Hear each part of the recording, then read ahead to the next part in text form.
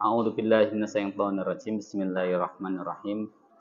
Alhamdulillahirabbil alamin. Alladzi khalaqal insana min 'alaq. Iqra wa rabbukal akram alladzi 'allama bil qalam 'allamal insana ma lam ya'lam. Asyhadu an la ilaha illallah wahdahu la syarikalah wa asyhadu anna Muhammadan 'abduhu wa rasuluhu la nabiyya ba'dah amma ba'd. Pada para mahasiswa yang saya banggakan, ya, dalam kesempatan sore ini, mari kita awali pertemuan ini dengan baca surat Al-Fatihah. Dengan harapan semoga kita senantiasa diberikan ilmu yang berkah dan manfaat oleh Allah Subhanahu wa taala. Al-Hadiyin Al-Fatihah. A'udzu billahi minasyaitonir rajim. Bismillahirrahmanirrahim.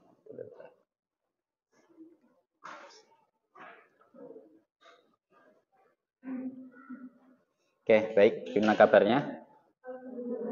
Alhamdulillah baik ya. Materinya sudah dipelajari? Sudah ya. Hari ini tentang apa? Penciptaan manusia.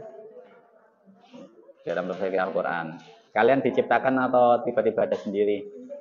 Oh diciptakan. Siapa yang menciptakan kalian?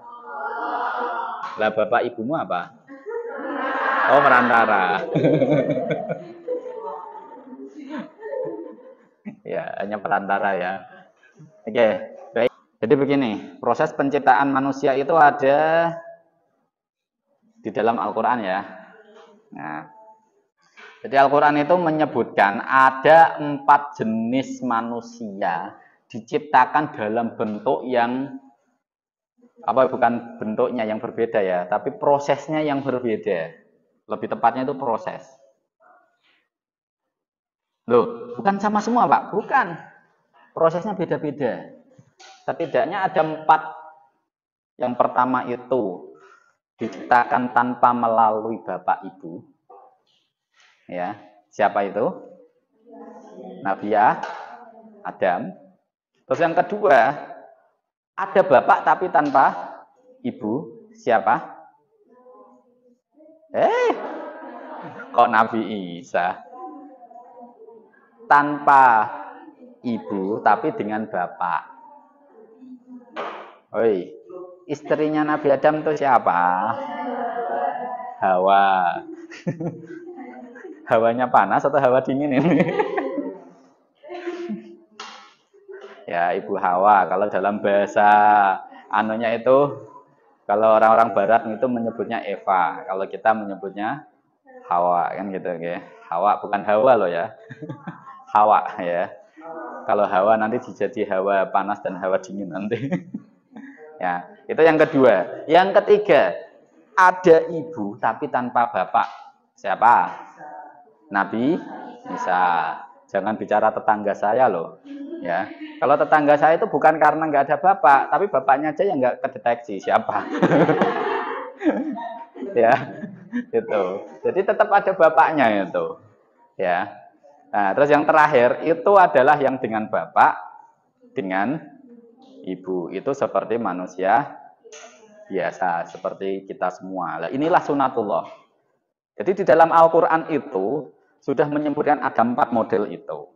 Nah, dalam konteks ini kita akan membahas dari empat itu kita bagi dua aja. Yang pertama itu sesuai dengan sunatullah. Yang kedua itu yang khusus tertentu dalam arti ini menunjukkan keistimewaan keistimewaan Gusti Allah. Loh kok keistimewaan keistimewaan Gusti Allah, Pak? Iya, Allah aslinya kan kalau menciptakan sesuatu kan tidak qada amron fa inna yakul lahu. Tidak arada sayan ayakul lahu. Nah, terus apa mana? Ayatnya akeh kuwi. Pokoknya intinya kun fa yakun. Terus pokoknya anggar kun oh ono gitu ya. Hmm.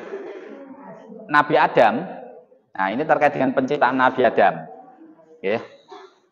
Di dalam Al-Qur'an itu Nabi Adam itu disebutkan diciptakan dari min sulalatin mintin. Ya, min sulalatin mintin. Jadi ketika uh, dari ekstrak tanah, ya disebutkan dari ekstrak tanah, ya turab kalau dalam bahasa Arabnya itu turab. Terus ada unsur ma apa itu a ma air terus ada Apa? Hmm? Tin. Tin itu ketika debu ketemu a air. Debunya ya ora sithik lah ya, debunya akeh Banyak. Nah, ketika debu itu kemudian menjadi apa? Berkumpul, kemudian dicam kasih air, jadinya apa? Kayak adonan, tapi adonan lum, bukan adonan bakwan lah ya. Nah, jadi adonan lumpur. Bayangkan saja kalau ada orang belakang sini lagi nyetak genteng, ya belakang kampus ini ada yang nyetak genteng ya, ya kayak gitulah bayangkan nih. Jadi bagaimana membuat cetak apa lum lumpur kan begitu. Tetapi ada tinil lajib, ya. Jadi semacam kayak gumpalan tanah tapi sudah hampir berbentuk daging. Ya, ada unsur dagingnya. Terus ada hamai masnun. Jadi endapan. Ada juga sol-solim kalfahar. Misalnya, sol-solim kalfahar itu kayak apa kira-kira? Kalau barang tadi sudah mulai dibentuk, kemudian kering itu jadi kayak apa? Kayak tembikar kan? Kalian pernah orang melihat orang nyetak geneng toh? Kan diadoni, kemudian apa kan? Eh, dibakar dulu, dipemisik mbak, dikeringkan dulu, baru tiba dibakar. Nah itu. Jadi ada unsur-unsur itu. Nah coba sekarang perhatikan, kita pikirkan. Orang itu ketika mau membuat tembikar, itu ada unsur apa saja yang sudah masuk di situ? Air ada, terus apa lagi? Tanah. Ayo, udara ada enggak?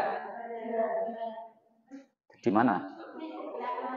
Oh, di angin-angin Ya, karena ketika proses dibakar, ada apinya juga kan? Api itu bisa nyala gara-gara ada oksigen.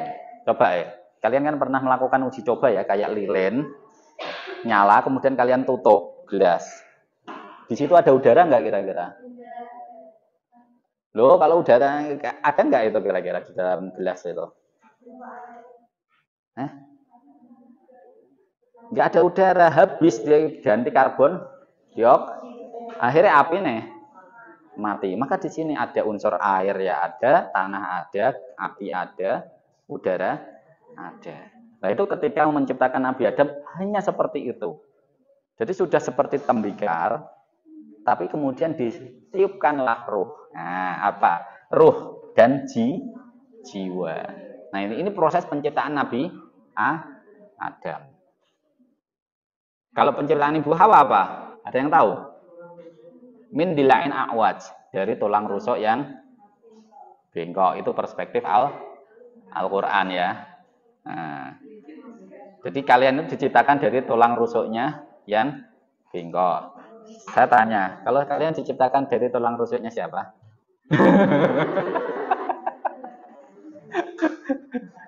Gak tahu ya mbak? Coba dicari tahu. Coba mas, tulang rusukmu masih ada gak mas? Hah? Kurang. Oh. Berapa yang berkurang? Oh satu. Tiga dua. Oh boleh. Enggak lah ya habis tulangmu mas. Ini ada sesuatu yang kalau ada. Nah sekarang yang adanya gimana? Ada itu yang sesuai dengan apa? Sesuai dengan sunnah tullah itu adate. Jadi gawe wong itu piye ceritane? Oke, tapi sebelum ke sana, ini ada penjelasan saintifik terkait dengan proses penciptaan Adam. Jadi kayak eh, fahar itu kan disebut sebagai kayak tanah liat yang hitam. Itu kalau dalam bahasa bahasa ilmiahnya apa? Karbon, karbonium atau zat arang. Makanya jadi wong ana ya ora ora kemudian putih bening ora ono, mesti ana sing rada budak-budak sithik mesti ono. Mbok bagian ngendine iki gak ngerti, pokoknya ono sing budak. Nah, karena apa? Ada karbonium, ada sol-sol dari zat pembakar oksigen tadi ya, ada hamain masnun, ada tin, ada lazib. Nah, jadi kalau yang turop itu disebut sebagai zat organik, yang lajib itu disebut sebagai zat yang inorganik. Zat yang inorganik itu seperti zat besi, sodium, kalsium, dan yang lain-lain itu loh. Ya toh? Tahu nggak? Di dalam tubuh kalian itu ada kalsiumnya nggak kira-kira? Ada. Itu termasuk organik atau non organik itu? Inorganik. Ya. Tapi kalian itu membutuhkan itu. Kenapa? Kalau tidak ada, ya rapuh. Ya, mesti rapuh. Tulang butuh apa namanya? Nah, biasanya diperoleh dari apa? Susu. Kalau zat besi untuk apa itu?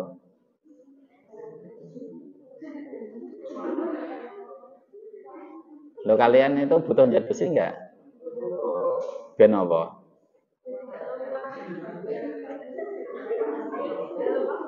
Ben lemah. ya Allah.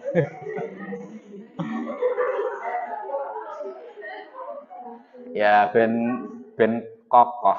Ya ben apa ya berarti. Fisik ini agak kebal.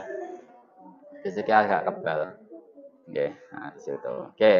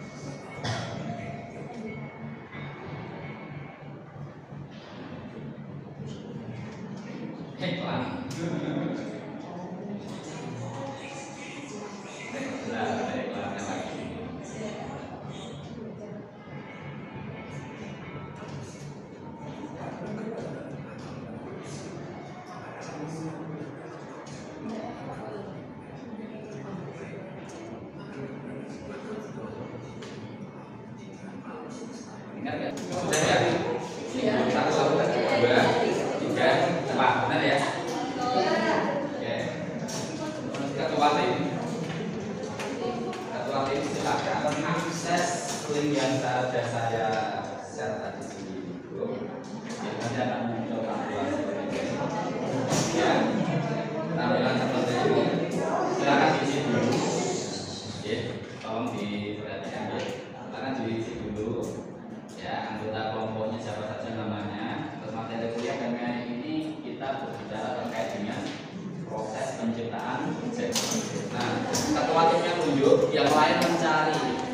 automático.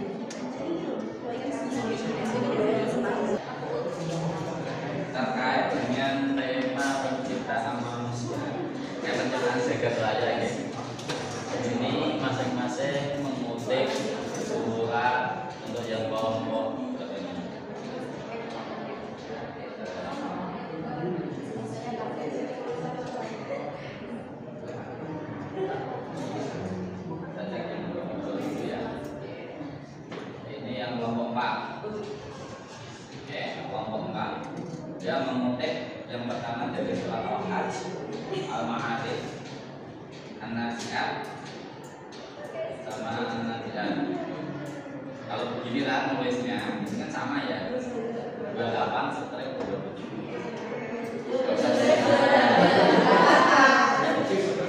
ya 28 ya. Balik. Dari itu. Ya nggak usah diulang dua kali. Ya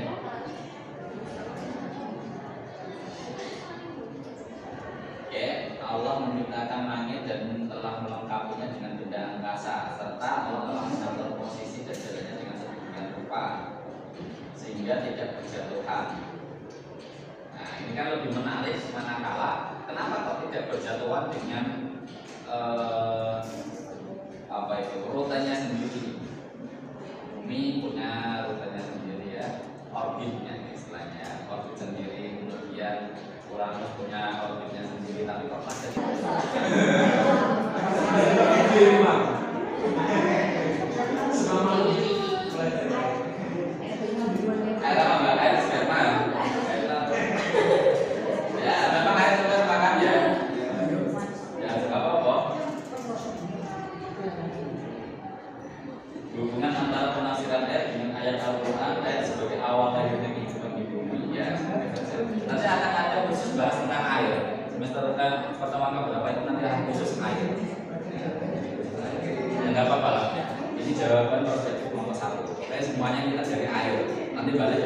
yapıyorum ben.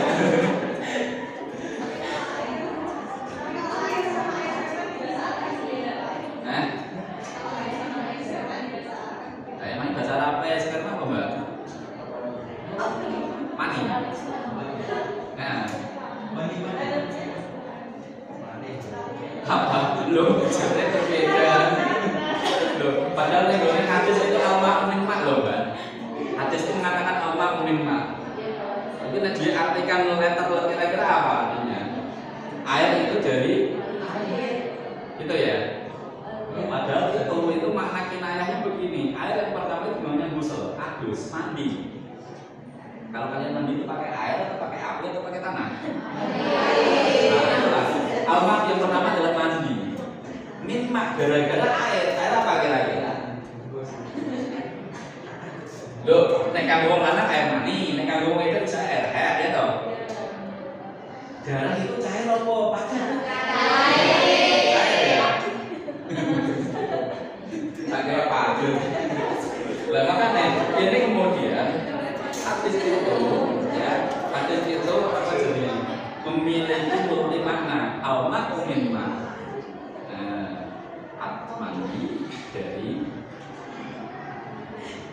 apa keluarnya air mani itu bagi laki-laki kalau bagi perempuan perempuan itu kalau memang bisa menikmati mani ini enggak sih bisa bisa ada yang sudah pernah alami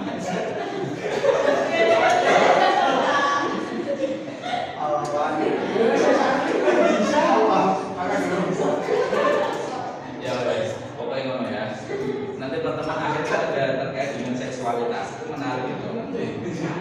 Ya bagaimana menjelaskan perspektif seksualitas dari saya? Apa nanti soalnya ya silakan dibaca juga ke sana nanti, tahu ya. Nah itu lah kira-kira Nah, insya Allah kita akan lanjutkan pada pertemuan yang akan datang. Sampai sini ada yang ditanyakan terkait dengan materi ini. Oh iya, teman-teman buat nomor satu saat